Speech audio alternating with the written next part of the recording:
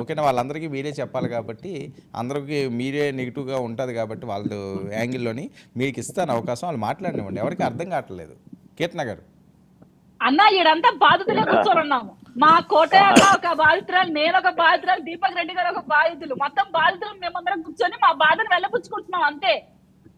Already అధికారం అనుభవించి మా పైన తాండవం అన్న పార్టీలో ఉన్నవాడు. మళ్ళీ మా పైన తాండవం ఆడుతున్నావు. మేము ఇంకా నీ దగ్గర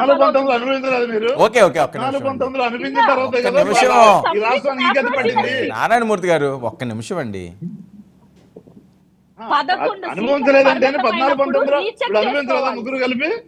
ఆయనలు ఎక్కడ ఉన్నారండి జనసేన వాళ్ళు అప్పుడు ఉన్నారా? అనుభవించడానికి? జనసేన కలిసే ఉంది.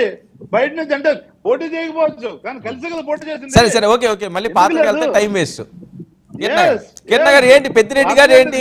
వారంపూడి. గారు అరెస్ట్ అట పెద్దిరెడ్డి గారి పరిస్థితి ఏంటి? ఏం జరిగింది?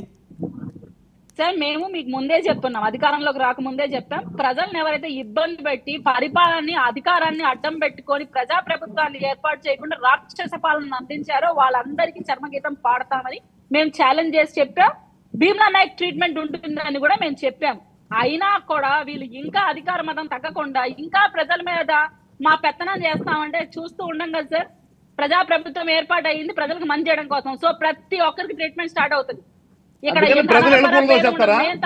జేసీబీలు తీసుకెళ్ళి ప్రజలు వెళ్ళకూడదు ప్రజాప్రభుత్వమా? జేసీబీ తీసుకెళ్ళి ఎమ్మెల్యేని కూర్చొని ప్రజలు ఇల్లు కూలతోయడం ప్రజాప్రభుత్వమా? ప్రజల్ని రక్తపాతం సృష్టించి వాళ్ళని చంపి వాళ్ళని నరక హింసలు పెట్టడం ప్రజాప్రభుత్వమా? మైనార్టీల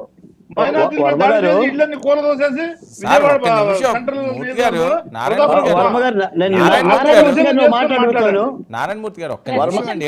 నోట్ చేసుకుని సమాధానం. ఇల్లు కోలదేయకూడదండి ప్రజాప్రభుత్వం ఇల్లు మాట్లాడుతున్నప్పుడు కాదండి మీరు మాట్లాడుతున్నాడు బ్రేక్ వేస్తే ఇంకేం మాట్లాడతారు వాళ్ళు నారాయణమూర్తి గారు మాట్లాడినప్పుడు. ఎవరైనా ఎమ్మెల్యే కాదు నారాయణమూర్తి గారు మీరు ప్రభుత్వ హయాంలో ఎమ్మెల్యే మీద కేసు కట్టారా?